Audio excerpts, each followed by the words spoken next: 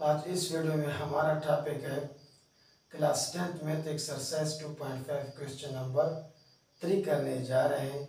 इसमें हमें synthetic division method का इस्तेमाल करना है। पहले तमाम सवाल मैं कर चुका हूँ वीडियो अपलोड हो चुकी है आप देख सकते हैं। आते सोल्यूशन की तरफ़।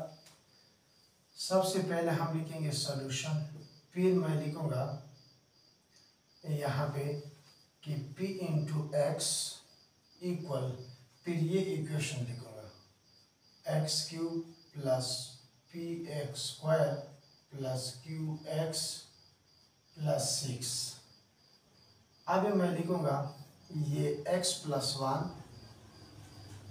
and x minus two are the root of p into x.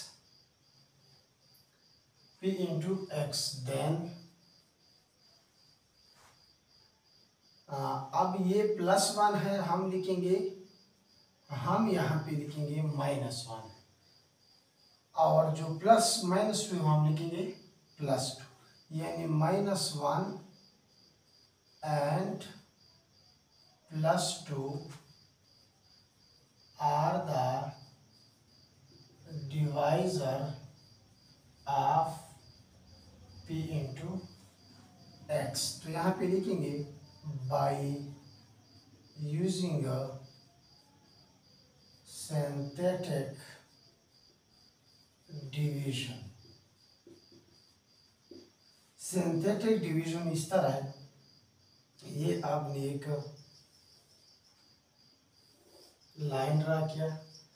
अब इस इक्वेशन का जो कोफिशेंट है वो आपने लिखना है वन ए फिर आपने लिखना है पी और फिर आपने लिखना है क्यू और फिर आपने लिखना है सिक्स अब यहाँ पे पहला माइनस वन है तो यहाँ पे हम लिखेंगे माइनस वन ये हम एक लाइन ड्रा करेंगे। ये लाइन ज़्यादा ऊपर है तो ये लाइन हम थोड़ा नीचे भी ड्रा कर लें, क्योंकि ऊपर हमने यहीं से लिखने हैं इस तरह। अब ये माइनस वन ये पहला वाला वन जो ये इधर ही आएगा। माइनस वन मल्टीप्लाई करें, माइनस वन आएगा यानी पी माइनस वन हो जाएगा। आप माइनस अगर मल्टीप्लाई करें तो माइनस पी और प्लस वन हो जाएगा। यहाँ पे आपके पास आ जाएगा q minus p plus one. अब दोबारा माइनस वन इसके साथ मल्टीप्लाई करेंगे तो साइन चेंज हो जाएगी, यानी मनफी क्यू प्लस पी मनफी वन आ जाएगा। तो यहाँ पे आपके पास आ जाएगा, तरतीब दे दी प्लस पी मनफी क्यू प्लस फाइव सिक्स जो वन जाएगा तो ये क्या हो जाएगा फाइव अब इस तरह प्लान ड्रा करिए, ये हमारा रिमाइंडर है. अब हम क्या करेंगे? दूसरा क्या चीज़ रहेगी हमारे पास? टू अब यहाँ पे मैं लिखूँगा टू और यहाँ पे आपके पास एक लाइन आ जाएगा. ये लाइन भी हम थोड़ा नीचे ड्रा करते हैं, क्योंकि यहाँ पे हमने क्या करना है? इन से लिखने तो ये आप यहाँ पे ड्रा कर लेंगे. अब ये टू आपको ये वन इसी तरह आएगा। ये टू मल्टीप्लाई करेंगे तो यहाँ पे टू आ जाएगा। ये आपके पास हो जाएगा पी प्लस वन अब ये टू इसके साथ मल्टीप्लाई करेंगे तो ये आपके पास हो जाएगा टू पी प्लस टू तो यहाँ पे आपके पास ये आ जाएगा p plus q plus three बस इससे आगे नहीं जाएगी। ये हमारे पास यहाँ पे दोबारा क्या हो जाएगा? रिमाइंडर हो जाएगा।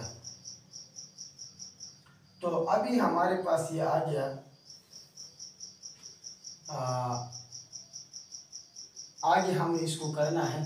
तो यहाँ पे हम लिखेंगे, अगर आपको कोई मसला गया तो आपने ये वाला लाइन जो है, ये वाला लाइन आपने यहाँ पे दोबारा क्या करना है, लिखना तो यहाँ पे आपने लिखना है कि x plus one and x minus two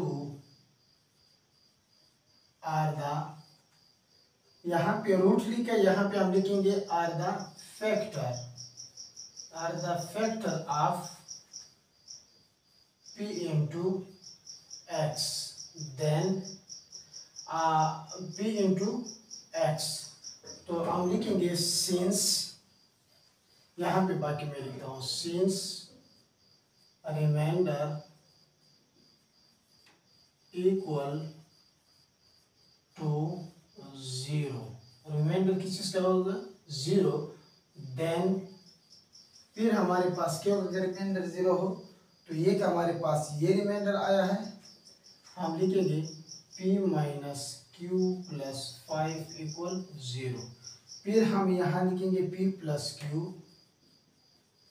q plus three equal zero ये आपके पास इक्वेशन वन हो जाएगा, ये आपके पास इक्वेशन टू हो जाएगा। अब यहाँ पे हम लिखेंगे at equation one and two क्योंकि इसमें हमने पी और क्यू की वैल्यू फाइंड करना है। सवाल में उन्होंने कहा है कि क्या करें? Find the value of p and q तो इसलिए हम इसको अभी ऐड करेंगे। जब ऐड करोगे, इस तरह लिखोगे p minus q plus five equal zero यहाँ पे आ जाएगा p plus q plus three equal zero तो यहाँ पे ये q और ये q कट जाएगा, आपके पास आ जाएगा टू पी और ये आपके पास आ जाएगा प्लस एट ये आपके पास आ जाएगा ज़ीरो ये एट उस तरफ़ जाएगा तो आपके पास हो जाएगा two p equal minus eight हो जाएगा. अब हम टू क्या करेंगे? डिवाइड करें डिवाइड करें two on both side divide 2 on both side 2p equal minus 8 divide by 2 यहाँ पे p divide by 2 ये p equal minus 4 आएगा। कितना आएगा? माइनस फोर आपके पास आएगा p की वैल्यू अब ये p की वैल्यू हम पुट करेंगे।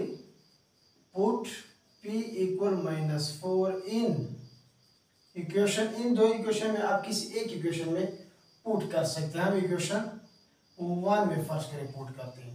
तो ये आपके पास पी की जगह आ जाएगा माइनस फोर माइनस क्यू अपनी जगह पे प्लस फाइव अपनी जगह पे और फिर आ जाएगा ज़ीरो तो माइनस क्यू प्लस फाइव से जब माइनस फोर जाएगा वन आएगा इक्वल ज़ीरो ये वन उस तरफ़ जाएगा तो आपके पास मनफी क्यू इक्वल मनफी वन हो जाएगा। मनफी मनफी मनफी मनफी कैंसिल हो जाएगा। आपके पास क्यू इक्वल क्या जाएगा? वन यानी आपके पास इस क्वेश्चन में पी का आंसर मनफी फोर है और क्यू का आंसर प्लस वन है।